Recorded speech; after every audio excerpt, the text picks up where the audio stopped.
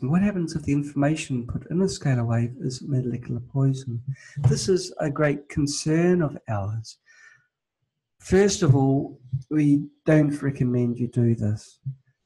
Not because it will cause a problem, but because we don't know for sure whether it will cause a problem or not. We don't know whether your body will absorb the information of the poison. The tests that we've done to now and the early reports back from people that have received Spooky Scalar and have experimented, experimented with molecular modulation suggest that your body seems to absorb what it needs.